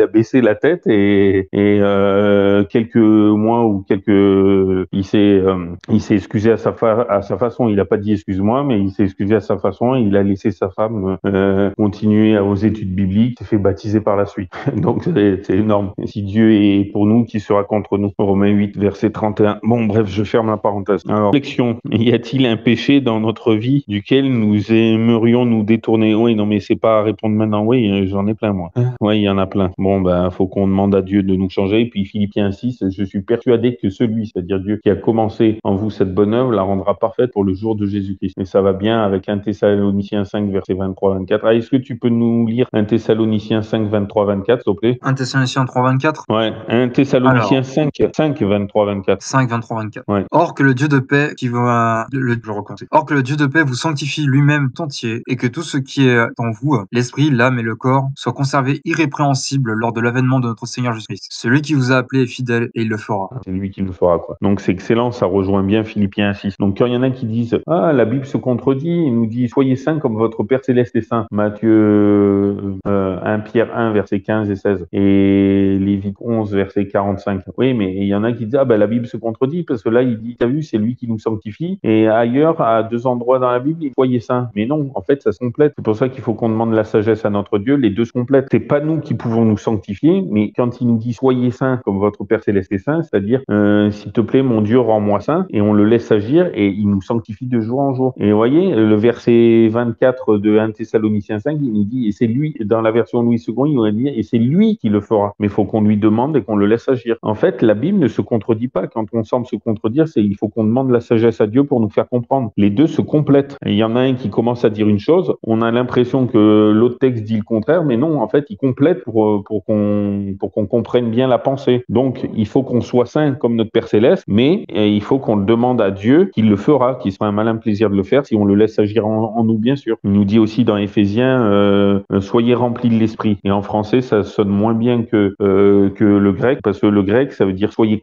comme si on devait traduire par soyez continuellement, non, demandez continuellement le Saint-Esprit, parce qu'on est des paniers percés. Et comme on a besoin de manger plusieurs fois par jour et plusieurs fois par semaine pour vivre, eh ben on a besoin, on n'a pas, tiens, j'ai reçu le Saint-Esprit une fois pour toutes, c'est bon, j'ai plus besoin de le demander. Non, faut le demander quotidiennement. Comme on mange plusieurs fois pour vivre, eh ben il faut qu'on mange spirituellement pour vivre aussi spirituellement. Bon, bref, euh, quelles choses peuvent nous amener à, nous à détourner nos yeux de Jésus? Bon, ça c'est à chacun de répondre, mais c'est pour ça que j'aime trop ce truc pour les enfants. C'est dommage qu'on le fasse pas. Qu'est-ce que nous pouvons faire pour changer cela? Ben, le demander à Dieu dans nos prières, parce qu'il dit bien dans Jacques 1 verset 5 que celui qui manque de sagesse la demande tout simplement à Dieu, qui lui donnera sans reproche. Et c'est valable pour toutes choses. C'est valable pour l'amour, la foi, l'espérance, la compassion, si on est trop sévère, l'empathie, enfin tout et tout, toutes les neuf facettes du bon fruit de l'esprit. L'amour, la joie, la patience, la bienveillance, euh, la foi, euh, la, tempérance ou la maîtrise de soi. Bon, j'en ai loupé. Enfin, il y en a neuf. Euh, Galates 5, 22. Attendez, je vais vous lire. C'est Galates 5, 22 qui nous dit. Alors, Galates 5, 22. Oui, alors, euh, mais le fruit de l'esprit. Quand on dit les fruits de l'esprit, c'est le fruit de l'esprit. C'est l'amour, la joie, la paix, la patience, la bonté, la bienveillance ou l'amour du bien, suivant les versions, la fidélité ou la foi, suivant les versions, la douceur et la tempérance ou la maîtrise de soi, suivant les Et le premier, c'est l'amour ou la charité, suivant les versions. Et la loi n'est point contre ces choses. Ben, ça veut dire qu'au contraire, elle est, pour. Bon, ben, faut le demander à Dieu. Et euh, idée de prière, ben, demandons à Dieu de nous aider à détourner de toutes nos mauvaises pensées, de toutes nos mauvaises actions et nos mauvaises paroles, et de le remercier de sa puissance qui peut, qui peut nous transformer et qui veut nous transformer surtout, et de son tendre pardon euh, et amour envers chacun de nous et bonté. Enfin, il use de patience envers nous, voulant qu'aucun périsse, mais qu'ils reviennent tous à la repentance. De Pierre 3, verset 9. Ah oui, est-ce que tu peux nous lire 2 Pierre 3, verset 9, s'il te plaît, Vincent 2 Pierre 3, verset 9. 2 Pierre 3, verset 9. Euh, le Seigneur ne retarde point l'exécution de sa promesse, comme quelqu'un, euh, comme quelques-uns croient qu'il y ait du retard, mais il use de patience envers nous, ne voulant point qu'aucun périsse, mais que tous se viennent à la repentance. Tous se viennent à la repentance. Ça rejoint ce que je disais à Timothée 2, 3, 4. Cela est bon et agréable devant Dieu notre Sauveur, qui veut que tous les hommes, donc quand il dit tous les hommes, c'est tout le, tout le monde, hein, hommes, femmes et enfants, que tous les hommes soient sauvés et parviennent à la connaissance de la vérité. Donc ça, c'est énorme. Donc ensuite, euh, trois, euh, je sais plus où j'en suis. Un, deux, trois. Donc quatrième petite partie. Oui, j'ai rien oublié. Oui. Alors quatrième petite partie. Adore le Créateur, ton Rédempteur, en observant son sabbat. Bon. Alors euh, la fin du, du verset 7 d'Apocalypse 14 nous dit donc et adorer celui qui a fait le ciel, la terre, la mer et les sources des eaux. Amen. Et la version parole de vie donc dynamique. Adorer celui qui a fait le ciel et la terre, la mer et les sources d'eau. Donc c'est quasiment la même chose là. Ça change pas trop entre littéral et dynamique. Donc adorer le Créateur. Bon, je vais vous lire une petite histoire, vraie aussi. Une vue de la planète bleue. Donc c'était la veille de Noël. Bill, Jim et Frank sont très très loin de chez eux. En fait, ils ne sont même pas sur la planète Terre. Les trois astronautes se trouvent dans la capsule spatiale d'Apollo 8. Apollo 8, donc ça date pas d'hier. En orbite autour de la Lune. De son point de vue éloigné, l'équipage voit maintenant des rayons lumineux se glisser sur la Terre. Le Soleil éclaire la petite planète bleue si lointaine. Les trois astronautes ont attendu avec impatience ce moment. L'un d'eux, Bill Lander, s'installe devant le microphone et se met à parler. Nous approchons maintenant du lever du soleil lunaire, dit-il. Et l'équipage d'Apollo 8 a pour vous tous, habitants de la Terre, un message qu'il désire vous transmettre. C'est énorme. Qu'est-ce que ces astronautes vont nous dire? se demandent les gens. Au commencement, Dieu créa les cieux et la terre. Bill Anders lit Genèse 1, verset 1, le tout premier verset de la Bible. Il continue à lire, puis l'astronaute Jim Lovell prend le relais. Dieu appela la lumière jour et il appela les ténèbres. Ce verset est également tiré du récit biblique de la création, Genèse 1, verset 5. Jim poursuit la lecture. Ensuite, c'est le tour de Frank Borman, le troisième astronaute. Dieu dit que les eaux qui sont au-dessous du ciel se rassemblent en un seul lieu et que le sec paraisse. Dieu appela le sectaire et le sectaire, plus loin, pas sectaire, et il appela l'amas des eaux mer. Dieu vit que cela était bon. Émerveillé par la beauté de ce qu'il voit depuis l'espace, les astronautes ressentent le besoin de louer quelqu'un de plus grand qu'eux. L'astronaute Borman termine par ces derniers mots. Que Dieu vous bénisse tous, vous tous sur cette bonne terre. Et sur ce, Apollo 8 continue à tourner autour de la Lune. C'est énorme. Et les, ouais, là, ce que je vous ai versé, euh, ce que, que je vous ai cité, c'était la version Louis II 1910. Mais vous imaginez, donc, euh, les astronautes en voyant la splendeur, et il y a plein, oui, ça me fait rebondir sur une histoire qui s'est passée ce matin, comme quoi Dieu dirige toute chose. Non, mais c'est énorme. Ce matin, ce matin et cet après-midi, j'ai eu plein de, nouveaux trucs qui, ont étayé mon étude de ce soir. Euh, J'en ai la chair de poule. Euh, ce matin, il y a, il y a un, ah non, c'était cet après-midi. Bon, bref, c'est dans la journée en tous les cas. Eh ben, ce même frère qui parlait de, euh, qui était colporteur, il dit, mais j'aurais un petit témoignage. C'était juste avant que ça finisse, vers 4h30, parce qu'on a eu un culte pour chercheurs, chercheurs de Dieu. Euh, c'est une fois par mois, de 15h30 à 16h30. Bon, bref, je ferme la parenthèse. Et vers 16h30, ça avait commencé un peu en retard, donc ça a fini un peu en retard. Vers 16h30, il dit, j'aurais un petit témoignage. Puis il dit, euh, oui, j'ai, euh, j'ai une connaissance qui était astronome et non pas astrologue, euh, donc qui étudie, euh, enfin, qui est toujours dans, qui est toujours dans, les planètes, dans les étoiles. Et puis, euh, bon, je sais pas comment ça en est venu. Puis il dit, est-ce que, est-ce que vous, vous, croyez en Dieu? Puis il dit, je ne crois pas, j'en suis plus que sûr. C'est vrai que le mot croire, on peut le voir dans le sens positif ou négatif. Souvent, on veut dire, bah, je crois comme je pense, donc ça veut dire l'air pas sûr. Et c'est vrai que, bah, croire, euh, ça peut avoir. Et lui, il disait, non, je ne crois pas, j'en suis plus que sûr, plus que convaincu. Donc c'est énorme quand il y en a qui disent que la science, elle va contre, contre Dieu, pas toujours. Des fois, les grands scientifiques, euh, ils ont commencé athées, ils sont devenus croyants, ou, ou ils sont devenus encore plus croyants, quoi. Mais il y a plein de scientifiques, et, et c'est dommage que j'aurais dû prendre en photo, il y avait plein de citations d'Einstein qui était croyant, euh, et je sais plus quoi d'autre, il y a même un célèbre chirurgien, enfin, et euh, enfin, c'est énorme. Bon, bref, euh, tout ça pour vous dire que euh, des, des choses qui nous dépassent, et même des grands, entre guillemets, de ce monde, et ben, même Descartes, par exemple, tout le monde nous dit, ah, faut être cartésien, en disant euh, ne pas croire. Mais Descartes, il était croyant. Sauf qu'un traité philosophique, bah, il va pas parler de religion. Si c'était un, un s'il faisait un traité de théologie, oui, il aurait parlé, il aurait dit, je suis croyant, je crois en Dieu. Mais c'est comme si euh, j'étais professeur de maths, de mathématiques. Euh, je vous dis, euh, bon, euh, 2 plus 1 est égal à 3. Ah tiens, donc Dieu, euh, non, euh, on peut pas mélanger euh, un cours de mathématiques et un cours de théologie. Oui, un cours de théologie, on peut parler de Dieu ouvertement, c'est là pour ça. Mais un cours de philosophie ou de mathématiques, on peut pas dire nos croyances normalement. Bon bref, je ferme la parenthèse. Sinon, ça devient du prosélytisme et c'est interdit en France malheureusement et dans plein de pays. Et il y en a eu qui ont eu des problèmes pour ça. Je vous invite à regarder le film Dieu n'est pas mort numéro 2, une histoire vraie que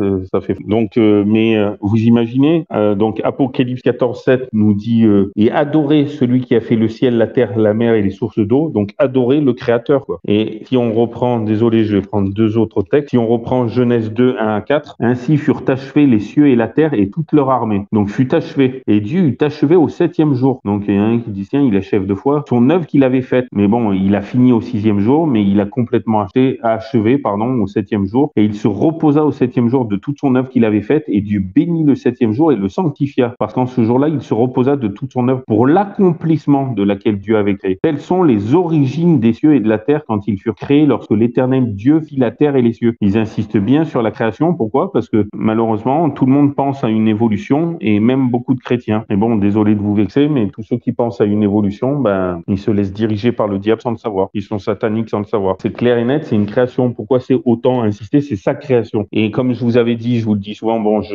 j'ouvre et je ferme la parenthèse. Bon, après tout, c'est la partie sur adorer le créateur, notre créateur, le créateur de tout, de toute chose. Et ben, euh, tant euh, euh, d'avoir plusieurs idées qui me viennent en tête en même temps, ça me fait louper la première. Donc oui, un grand peintre ou un grand sculpteur ou un grand dessinateur, mettons, il met six jours pour pour faire son œuvre. Donc il la termine le sixième jour. Le septième jour, il la contemple et il la signe. Ben, il l'a achevé une deuxième fois, il définitivement le septième jour en la signant. Et ben le sabbat de notre Dieu d'amour, c'est sa signature. Donc Ézéchiel 20-20, il nous dit que c'est le signe. Hein, Est-ce que tu peux nous lire euh, Vincent Ézéchiel 20-20 Mais attends, juste avant, je vais juste finir mon idée. Donc il a signé ce jour-là en se reposant, alors qu'il n'a pas besoin de repos, il est tout puissant, euh, en, en, le sanctifiant et en le bénissant, vu qu'il dit Genèse 2, euh, verset 3, pour l'accomplissement de laquelle Dieu avait créé. Comme quoi, ça marque bien, c'est le signe de sa création. Donc en fait, quand on rejette ce signe, c'est comme si on disait c'est pas c'est pas mon Dieu ou euh, je suis pas de sa création. Donc c'est pour ça que j'insiste autant dessus. Bon désolé. Est-ce que tu peux nous lire Ézéchiel 20 20 s'il te plaît? Sanctifiez mes sabbats afin qu'ils servent de signe entre moi et vous et que vous connaissez que je suis l'Éternel votre Dieu. Amen. Donc que je suis l'Éternel votre Dieu. Oui, je suis d'accord. Il dit et c'est dans le premier testament. C'est dommage que ce texte il soit pas dans euh, dans le deuxième testament parce que donc d'accord, Ézéchiel c'était un prophète euh, juif et il parlait pour les juifs. Mais est-ce qu'il est l'Éternel, le Dieu des juifs ou est-ce qu'il est l'Éternel mon Dieu, l'Éternel ton Dieu, l'Éternel votre Dieu, l'Éternel notre Dieu? Est-ce qu'il est le, Dieu que des juifs? Donc vous voyez, ce signe, c'est entre lui, son peuple, afin qu'on sache, qu'on connaisse. Or la vie éternelle, c'est qu'il te connaisse toi, le seul vrai Dieu, celui qui a envoyé Jésus-Christ, Jean 17, 3. Donc ce signe, c'est qu'on connaisse nous et les autres autour de nous qu'il est l'Éternel notre Dieu. Donc voilà pourquoi moi je prends ce signe et que tout crée, bon, je ferme la parenthèse, mais normalement tout croyant, il devrait prendre ce signe ou sinon il n'est pas leur Dieu. Je désolé de parler comme ça, mais le texte est clair. Hein. Soyez des petits enfants. Pourquoi soyez des petits enfants Parce qu'on n'a pas à chercher midi à 14 heures. On n'a pas à, réfléchir à machin, c'est dépassé à les traditions, machin, machin. Non, euh, obéissez comme des petits enfants. Le petit enfant, il obéit sans réfléchir, sans discuter. Dieu, il a dit ça. On, on cherche pas, on obéit. Mais bon. Alors réflexion.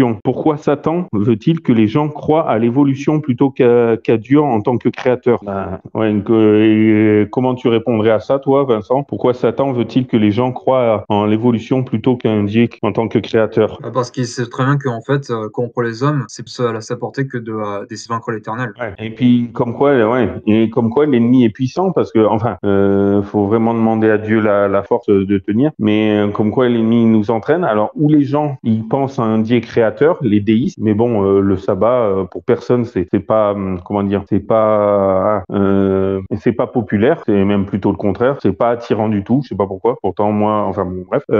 donc, tout le monde pense que, enfin, tous les déistes pensent à un Dieu créateur, mais ils veulent faire partir d'aucune dénomination, mais ils pensent pas que Dieu est le rédempteur, mais ils pensent au Dieu créateur. Pourtant, euh, c'est pas pour autant que j'ai un collègue de travail, ben, lui, il croit en Dieu créateur, et je lui disais, euh, tu as des enfants, euh, tu les aimes, tu veux leur bien, euh, puis dit oui, puis il dit, bah, on est tous les enfants de Dieu, il veut notre bien et il veut notre salut. Et puis là, ça le faisait réfléchir. Alors, où on croit en un Dieu créateur, mais on rejette qu'il est le rédempteur, ou on croit en un Dieu rédempteur et on oublie qu'il est notre créateur. Pour nous avoir sauvés, il faut nous avoir créés. On vient pas d'une évolution. Et où le chrétien, ben, comme quoi l'ennemi le repousse, il le pousse dans les, dans tous les extrêmes, où il va te faire croire en, en une création, mais il va te faire croire en une création, c'est ce que je pensais au début. C'est pour ça que c'est important d'étudier, de méditer Bible, où il va te faire croire en une création évolutionniste, c'est-à-dire, euh, ben, Dieu, il a créé le, les premiers atomes et après, il a laissé faire les choses. Euh, non, euh, la Bible, elle est claire. Je, Genèse, tout, le- tout le chapitre 1. euh, non, il n'a pas créé un petit truc, un petit atome, et hop, après, il a laissé faire. Donc, où il croit en la création évolutionniste ou en l'évolution créationniste, c'est-à-dire que, ouais,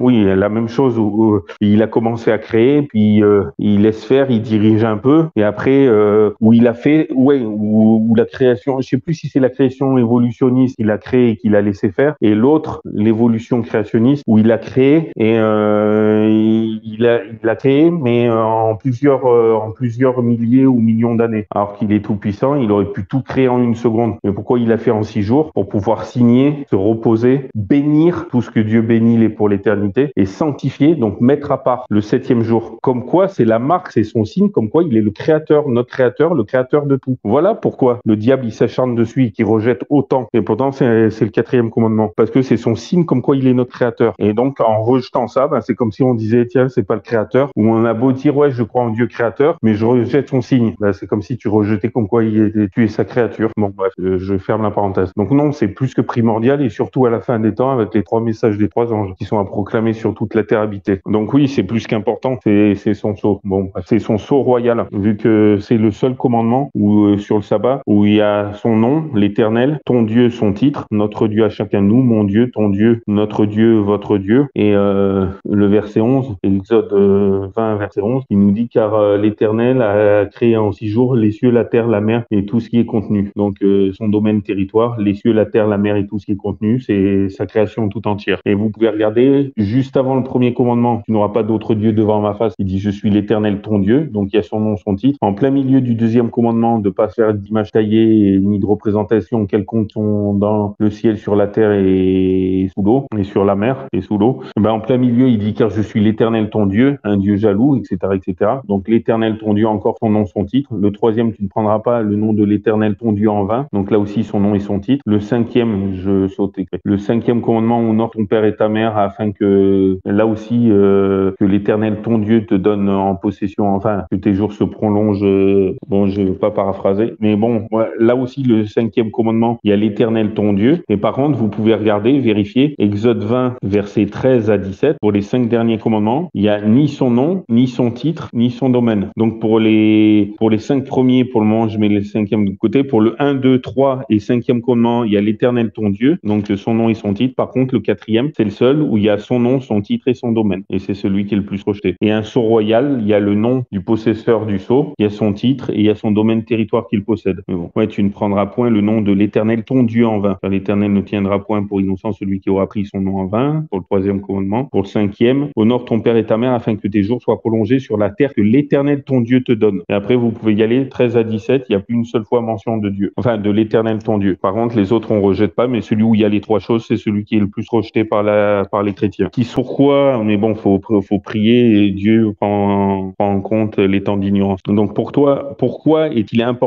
pour Dieu que les gens observent euh, son sabbat du septième jour plutôt que le dimanche ou un autre jour ouais, ben, J'ai un peu répondu à la question. Il a mis à part dès sa création, Genèse 2, 1, 4. Il re, il a fait une transmission euh, orale jusqu'à avant de le faire euh, sur le mont Sinaï, vu qu'on a la, on a le, ah, on a le, on a la confirmation. Est-ce que tu peux nous lire Genèse 26 verset 5, s'il te plaît? Je crois que c'est Genèse 26, j'ai presque fini. Genèse 26, verset 5. Ouais, je crois que c'est ça. Parce qu'Abraham a obéi à ma voix et a gardé ce qu'il lui avait donné, mes commandements, mes statuts et mes lois. Amen. Mes commandements, vous voyez Quand il y en a qui disent, ouais, mais comment ça se fait qu'on parle des dix commandements que, que au mont Sinaï et qu'on parle pas avant? Donc, euh, ça veut dire que Adam et Ève euh, n'observaient pas le sabbat, ni les dix commandements, ni, ni ceux d'avant. Ben, la preuve, Abraham, il a obéi à ses commandements. Donc, c'était transmission orale. La transmission écrite, ça a été que au mont Sinaï. Et pourquoi pas avant? Ben, L'écriture, elle, elle a existé 100 ou 200 ans avant Moïse. Et c'était une écriture vraiment euh, euh, proto-sinaïque. C'était à peine 100 ans avant. Et sinon, c'était hiéroglyphes. Mais euh, les 22 lettres de l'alphabet, il y en avait peut-être 10 ou 11 quand c'était les hiéroglyphes. Et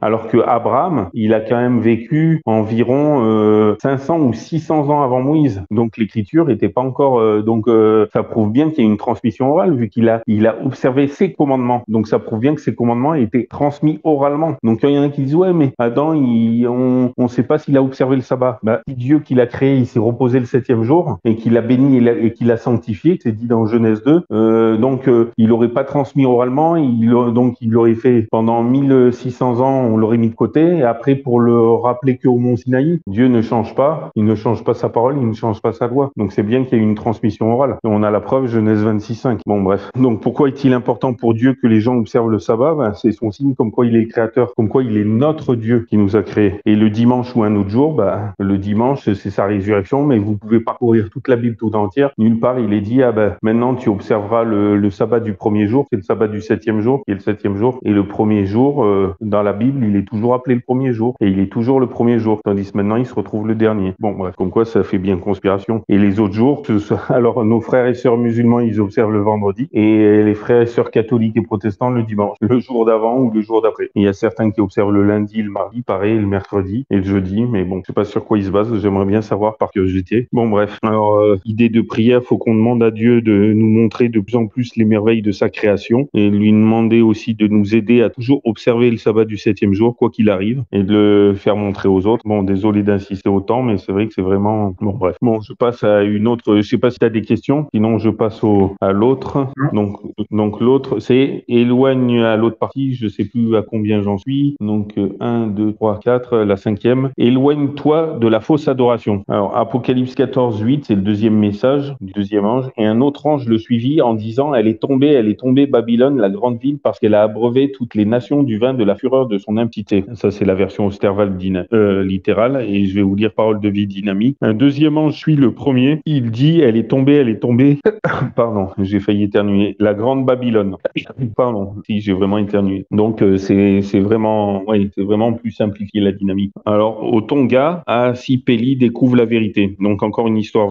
C'est l'adaptation de Excuse me, sir, which is the church. Donc, excusez-moi, euh, monsieur. Which, je sais plus ce que ça veut dire. W-H-I. Quelle est la vraie église? Parce que is the church. Bon, de Walter Krag du 14 septembre 1966. J'avais moins de 10 ans. Alors, Asipeli habite sur l'île polynésienne des Tonga, dans l'océan Pacifique Sud. C'est là qu'il a choisi de suivre la religion de son père. Mais maintenant, il se pose des questions. Quelques semaines plus tôt, deux hommes arrivent au Tonga et commencent à tenir des religions religieuses, des réunions religieuses. C'est pour ça que j'aime bien ce truc pour les enfants, parce qu'il y a des histoires au milieu. Alors qu'il n'y a pas dans, pour les adultes. Curieux, Asipeli et Manu, son ami, y. Ils découvrent alors des idées de la Bible dont ils n'ont jamais entendu parler. C'est le choc. Asipeli et Manu se rendent aux réunions tous les soirs. À la fin des réunions, ils en savent beaucoup plus sur la Bible. Mais une question les hante maintenant. Quelle est la véritable église? Ah oui, c'est quelle Oui. Un jour, Asipeli fait une annonce. Un grand bateau va arriver au port demain en provenance d'Australie. Je vais me rendre au bateau et demander à Dieu de me montrer quelqu'un qui puisse répondre à ma question. Quelle est la véritable église? Au port, Asipeli observe les voyageurs qui descendent du grand bateau. Finalement, il aperçoit un homme et sent que Dieu l'a choisi pour lui parler. Monsieur, est-ce que vous êtes un chrétien? demande Asipeli. Surpris, l'homme répond Oui, je suis un chrétien, je suis baptiste. Pourquoi cette question? Rapidement, l'ardent euh, tongien pose sa question. Pouvez-vous me dire quelle est la véritable église? Oh, ben, Chacun va dire que c'est la sienne. Il se trouve que ce passager a découvert la vérité biblique grâce à des études de la Bible qu'il a suivies au cours des derniers mois. Écris à cette adresse, dit-il à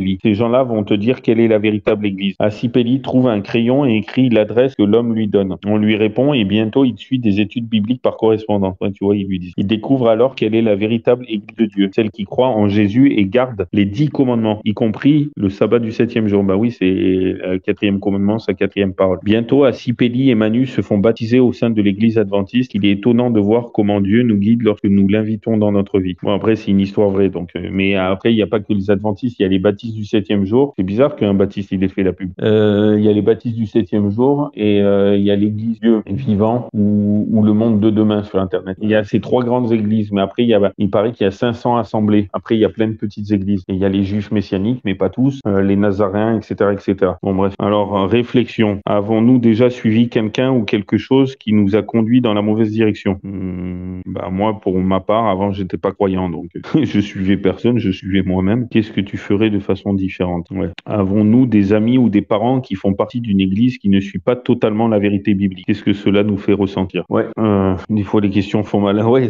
tu vois, il y a des questions aussi pour les adultes. C'est pour ça, qu'il faudra que tu fasses les adultes, mais il n'y a pas d'histoire. Alors que j'aime bien les histoires, moi, je suis comme un gosse. Euh, des amis ou des parents qui font pas partie d'une église qui ne suit pas totalement la vérité biblique, ouais, c'est clair. Bon, après, il faut prier pour eux. Qu'est-ce que cela nous fait ressentir? C'est comme moi, ceux qui rejettent euh, la loi de Dieu, ce sont en partie, c'est comme si on l'a rejeté totalement, ben, ça m'énerve un peu, malheureusement. Bon, après, il faut prier pour ces personnes, mais c'est comme, après, c'est logique. Si on comprend, euh, on va imaginer les commandements de Dieu comme le code de la route pour comparer. Donc, imaginons qu'on respecte les feux stop, qu'on respecte les limitations de vitesse, qu'on respecte euh, de pas se garer à tel endroit réservé, qu'on respecte de pas doubler quand il faut pas doubler, enfin qu'on respecte tout. Mais imaginons que les flics nous suivent euh, à chaque fois qu'on roule et ils nous voient, on, nous on les voit pas forcément, ils nous voient euh, transgresser un feu rouge, griller un feu rouge, passer au feu rouge au lieu de s'arrêter. Est-ce qu'ils vont nous arrêter puis ils vont nous dire euh, ah bah c'est bon, euh, vous avez pas violé les autres commandements du code de la route, vous pouvez passer, on passe l'éponge, ou est-ce qu'ils vont nous mettre une contravention parce qu'on a transgressé même un seul commandement du code de la route? Eh ben c'est pareil pour les commandements de Dieu. Donc en observer 9 sur les 10, c'est comme si on n'en avait observé aucun, pareil pour le code de la route, et c'est facile à comprendre. Donc c'est pour ça qu'on est transgresseur, mais bon, on est pécheur, mais après, euh, c'est peut-être le plus simple celui-là sur le quatrième, parce que ne pas porter de faux témoignages contre son prochain, ben, je vous le dis ouvertement, euh, moi je suis menteur moins qu'avant, mais je suis menteur. Et Dieu me change et me sanctifie de plus en plus, mais j'ai plein de péchés malheureusement. Et de pas tuer son prochain. Jésus il dit bien, mais quand on insulte son frère ou sa sœur, on s'énerve contre lui, c'est comme si on l'avait tué. Donc même celui-là, euh, tout le monde le transgresse. Euh, tu ne com- commettras pas d'adultère. Quand on pense qu'on a un regard sur, une femme et qu'on pense coucher avec ou qu'on va, ben, comme si on avait commis adultère dans nos cœurs. Donc pour Jésus, il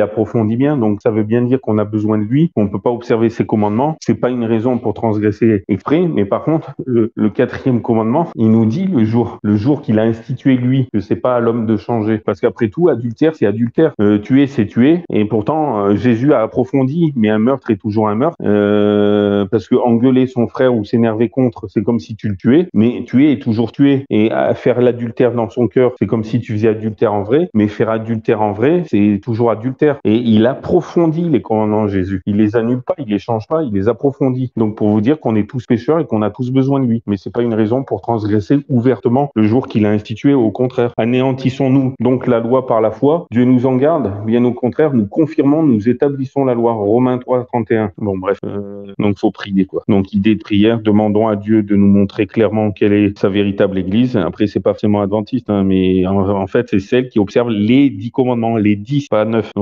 Remercions-le d'avoir euh, sauvegardé sa parole, la Bible à travers les âges, pour que nous puissions lire sa vérité aujourd'hui. Ouais, je sais pas si vous avez des choses à rajouter. Je sais pas si tu as des choses à rajouter. Sinon, il y a Non. plus que trois petites parties. Alors, euh, une autre petite partie, c'est euh, reste fidèle à la Bible. Donc, restons fidèles à la Bible. Donc, euh, Apocalypse 14, 9. Et un troisième ange, donc le troisième message, et un troisième ange les suivit en disant d'une voix forte, si quelqu'un adore la bête et son image, et s'il en prend la marque au front ou à la main. Et là, euh, la version, euh, la version parole de vie, quelqu'un adore la bête et sa statue, ah tiens, il dit statue au lieu d'image, qu'il reçoit sa marque sur le front et sur la main, il boira lui aussi le vin de la colère de Dieu. Ouais. Alors, caché le jour du sabbat. Bon, désolé, je parle, euh, il y en a qui vont pas être contents, ils vont dire, tiens, il parle encore du sabbat. Un jour, dans un pays du sud de l'Europe, 11 personnes se réunissent sur une rive cachée d'une rivière. Dans ce pays, les adventistes sont menacés de violence. C'est à chaque fois des histoires vraies que je vous lis. Une foule ayant entendu parler du baptême se rend à la rivière et attaque les membres qui viennent juste d'être baptisés. Malheureusement, une mère de deux enfants est tuée par la foule déchaînée. Les deux enfants de cette femme sont Alex, 10 ans, et sa sœur Marie, 8 ans. Certains de leurs proches les placent dans un foyer d'accueil. Le premier sabbat suivant, leur arrivée dans leur nouvelle maison, Alex et Marie sortent dehors après le petit déjeuner. Ils se cachent dans un grand tas de foin pour étudier leurs leçons de l'école du sabbat et lire la Bible. Alors qu'ils reviennent dans la maison, le père d'accueil leur donne une raclée. Le sabbat suivant, Alex et Marie passent la journée dans un bois voisin. À leur retour, le père d'accueil les bat de nouveau. Le troisième sabbat, les parents d'accueil arrêtent les deux enfants tandis qu'ils se dirigent vers le bois. Mais au moment où l'homme frappe Alex et Marie, des voisins arrivent et sont témoins de la scène. Ils s'empressent de rapporter aux autorités ce qu'ils ont vu et la police arrête les coupables. À la fin du procès, le juge rend durement son verdict. Vous avez battu ces enfants, serez battus vous aussi. Soudain, Alex se lève. S'il vous plaît, monsieur le juge, ne les faites pas battre, s'écrie-t-il. Oui, ils nous ont battus, ma sœur et moi, parce que nous observions le sabbat. Ça fait mal d'être battus. Marie et moi, on en sait quelque chose. Mais le Nouveau Testament nous dit d'aimer nos ennemis et de prier pour eux.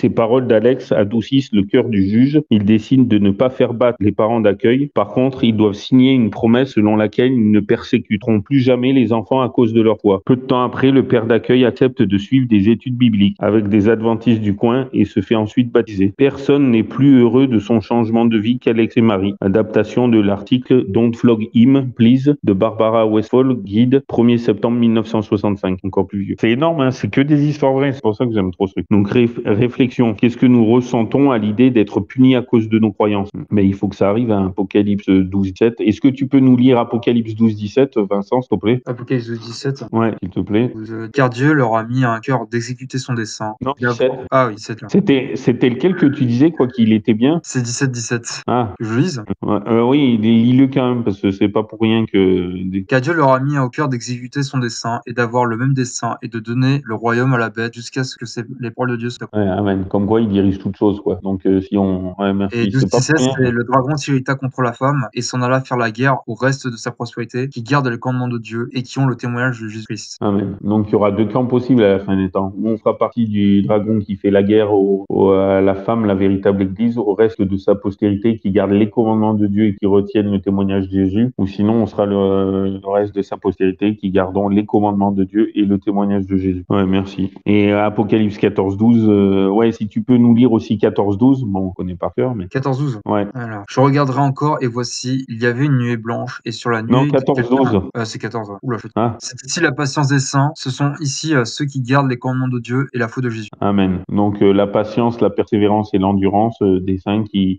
qui gardent, observent et mettent en pratique les commandements et la foi de Jésus. Merci. Donc trouvons-nous des euh, trouvons des histoires bibliques dans lesquelles des personnes ont été persécutées à cause de leur croyance. Oui, ben ça il y en a plein. Donc idée de prière, remercions Dieu pour les nombreux exemples de croyants qui sont fidèles à leurs convictions, quel qu'en soit le prix, et demandons-lui de nous donner le courage de les hésiter. Ouais, c'est clair. C'est clair. L'apôtre Paul qui dit soyez mes imitateurs comme je le suis moi-même du Christ. 1 Corinthiens 11, 1. Ouais. Alors, euh, l'amour de Dieu triomphe. Donc, Apocalypse 14, 10, qui nous dit, il boira aussi du vin de la colère de Dieu, du vin pur préparé dans la de sa colère. Il sera tourmenté dans le feu et le soufre en présence des saints anges et de l'agneau. Ça, on l'avait vu dans les, études précédentes. Mais comme quoi Dieu dirige toutes choses, c'est marrant qu'on on est vers la fin des temps et là, on étudie les trois messages des trois anges et pour les enfants et pour les adultes. On réétudie. Donc, il boira lui aussi le vin de la colère de Dieu. Donc, le breuvage empoisonné. Donc là, adaptation de Blessed Poison de Juliana Marin, guide 12 décembre 2009. Là, c'est plus récent. Donc, le breuvage empoisonné. Eustorgio, un fermier pète les adventistes plus que tout. Un soir, il invite un adventiste à dîner, mais pas dans le but de lui offrir un bon repas. Non, ce soir, il va empoisonner son invité. Hum, ça sent vraiment bon, dit l'adventiste en entrant dans la cabane de Storgio. Je suis si heureux de ton invitation. J'ai des tas de choses à te raconter sur ce qui m'est arrivé depuis que j'ai invité Jésus dans ma vie. Ça a l'air vraiment intéressant, ment Storgio. Parle-moi de ça pendant qu'on mange. Les deux hommes s'asseyent devant un repas simple, du riz et des haricots. Eustorio remplit deux verres de jus de papaye. Le verre de l'adventiste a des petites fleurs dessus et du poison mortel dedans. L'adventiste incline la tête et remercie Dieu pour le repas. Puis il prend le verre de jus et le boit d'un trait. Ah, ce jus est vraiment délicieux, lance-t-il. Le jus de papaye est ju- justement mon jus préféré. Je l'ai fait spécialement pour toi. Là, là, c'est la seule chose qui mentait pas. Dit Eustorio dans un sourire diabolique. Bientôt, cet adventiste va s'effondrer et mourir, pense-t-il. Mais au fur et à mesure que les minutes s'écoulent, son invité semble toujours bien portant. Eustorio bouge nerveusement sur sa chaise. Pendant deux heures, l'adventiste déguste son repas tout en parlant à son hôte de l'amour de Dieu. Au moment de partir, il invite Eustorio à venir à l'église avec lui le sabbat suivant. Alors qu'il s'éloigne, Eustorio tombe à genoux dans sa cabane, tout tremblant. Il se dit comment cet homme peut-il être encore en vie? C'est un sorcier ou quoi? Ou peut-être que tout ce qu'il a dit sur Dieu est vrai? Ô Seigneur, Dieu de cet adventiste, murmure Eustorio, maintenant je vois que tu es réel et que tu as la puissance de sauver. Je t'en prie, sauve-moi aussi. Mais c'est une histoire vraie, hein, à chaque fois, parce qu'on peut vérifier ces histoires. Donc ça, c'est énorme. C'est énorme. Et bon, ça, par contre, je vais vous raconter une autre histoire, mais celle-là, je sais pas si c'est vrai, mais en tout cas, c'est vrai, c'est costaud. Mais elle faisait le tour des réseaux sociaux il y a une dizaine d'années. C'est pas d'entre vous.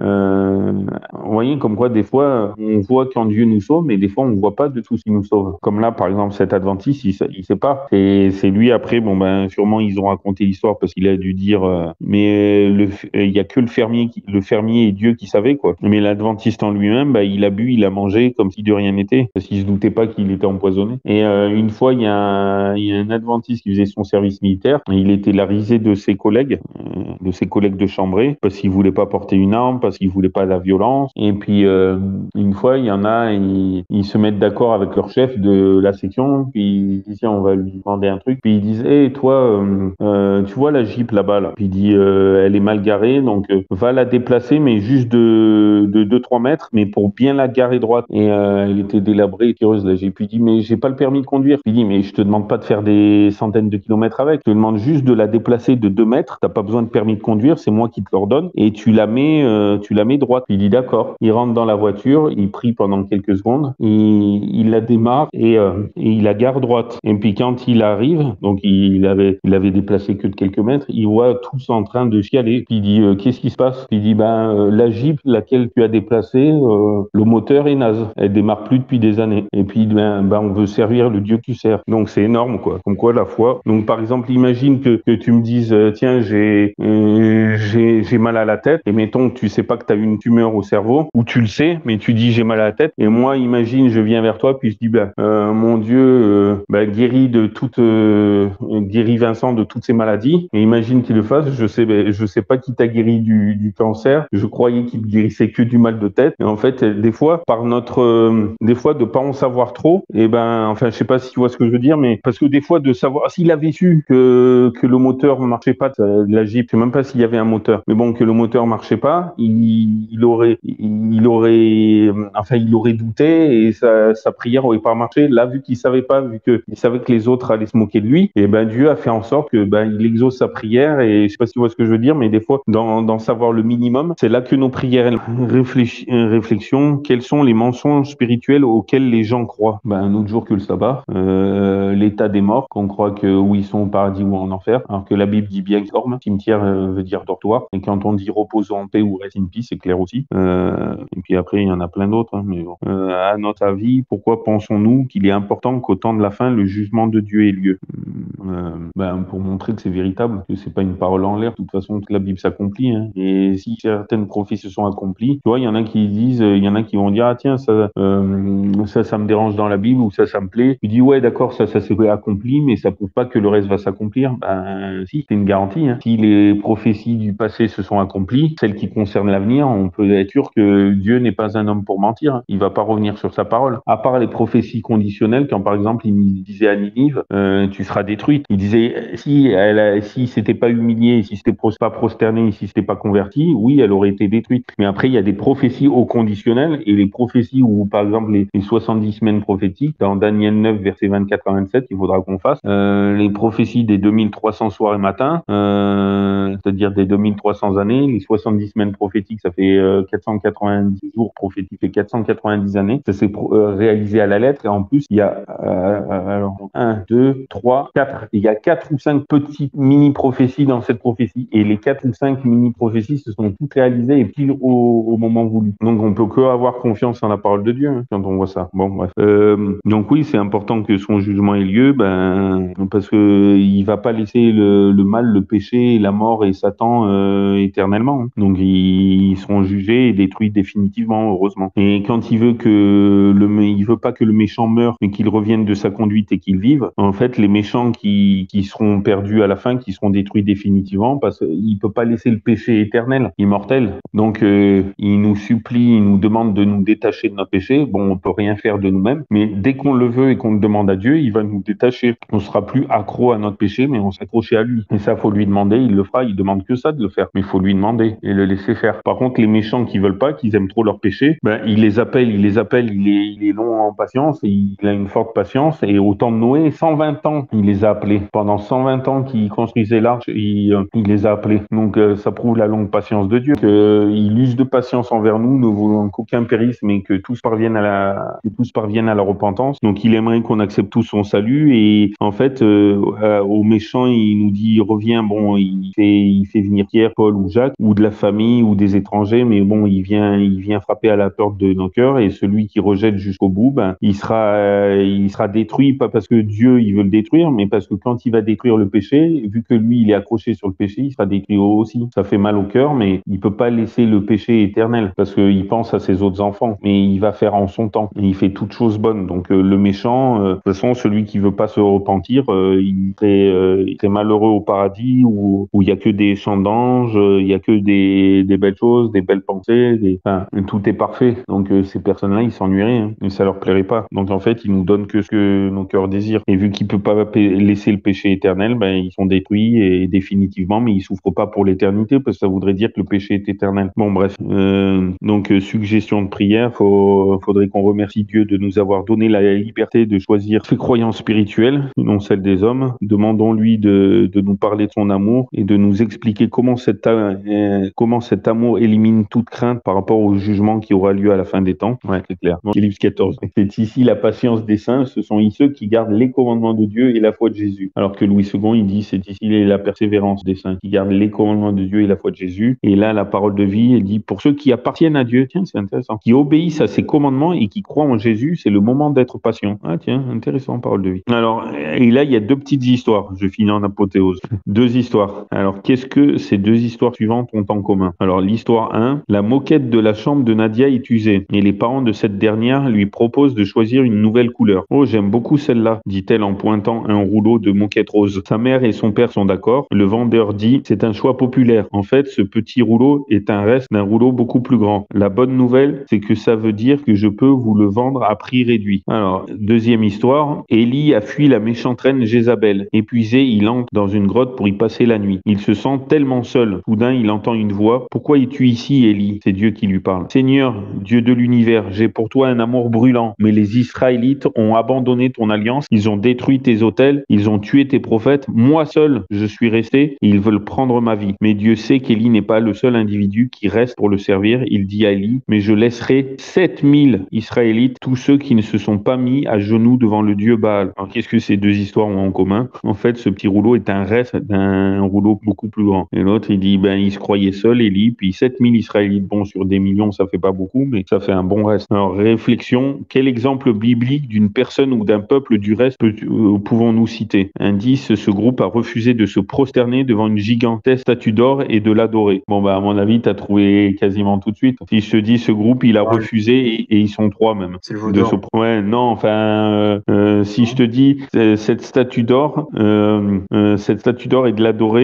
Alors attends, ce groupe a refusé, ils sont trois, les trois jeunes compagnons de Da. Daniel Ouais, ouais, dans le chapitre 2. Bon, après, il y en a plein. Il y a le Odor aussi. Il y a... Mais tu vois, quel exemple biblique d'une personne ou d'un peuple, du reste, peux-tu citer? Bah, Il y a les trois compagnons de Daniel. Il y a, ouais, et puis il y en a plein d'autres. Et quelles sont les responsabilités de ceux qui font partie de l'église du reste de Dieu au temps de la fin? De conduire. Euh... C'est pour ça nos huiles, enfin nos huiles, nos dirigeants, pasteurs, euh, euh, présidents de fédération euh, France Nord et France Sud, si s'ils adoptent les croyances mondaines, comme par exemple si bon, je, vais peut-être un peu trop loin, mais ça serait un peu trop grand, mais pas si si on voit par exemple si on voit nos dirigeants qui s'allient avec des personnes mais qui rejettent ouvertement le sabbat, parce qu'il y en a des chrétiens ils disent oui c'est bien t'es sabbatiste, moi je suis dimanchiste, je rejette pas ton sabbat, mais ceux qui qui le rejettent ouvertement puis qui disent non il est dépassé, euh, c'est n'importe quel jour sauf celui-là, j'extrapole un peu. Et eh ben si on s'associe avec eux, si on voit que nos pasteurs ou nos présidents de fédération ils s'associent avec, euh,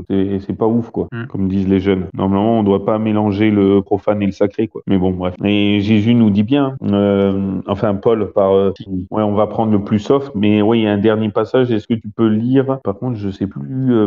Euh, oui c'est Esdras ça je sais, mais Esdras? Ouais, Esdras, c'est dans le Premier Testament, et c'est juste avant Néhémie, c'est vraiment vers, ouais, vers le milieu du Premier Testament, même pas le milieu, c'est, ouais, enfin c'est, ouais, c'est vers le tiers du Premier Testament. Ah.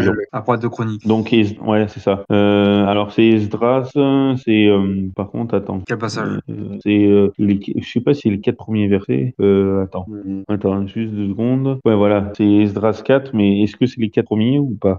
Ouais, ouais, le- ouais, les trois premiers plutôt. Or, les ennemis de Juda et de Benjamin apprirent que les enfants de la captivité rebâtissaient le temple de l'Éternel, le Dieu d'Israël. Ils vinrent vers, vers Zéro- Zoro- Zorobabel et vers les chefs des pères et leur dirent Nous bâtirons avec vous, car nous invoquons votre Dieu comme vous. Et c'est à lui que nous sacrifierons depuis le temps d'Ezaradon, roi d'Assari, qui nous a fait montrer ici. Les Zorobabel, Je- Jéchoua et les autres chefs de, des pères d'Israël leur répondirent Il ne convient pas que vous et nous, nous bâtissons une maison à notre Dieu, mais nous la bâtirons nous seuls à l'Éternel, le Dieu d'Israël, comme le roi de, euh, de Cyrus, comme le roi Cyrus, roi de Perse, nous l'a commandé. Amen. Ce n'est pas à vous et à nous de bâtir, mais à nous seuls. Donc c'est clair, hein, on ne doit pas se mélanger avec. euh, euh, c'est encore plus flagrant, mais c'est moins gentil. J'ai hésité à le lire, mais bon, désolé, on va le lire quand même. Euh, on n'est pas là pour plaire aux hommes, mais pour plaire à Dieu. Je peux me faire des 2 Corinthiens, euh, chapitre 6.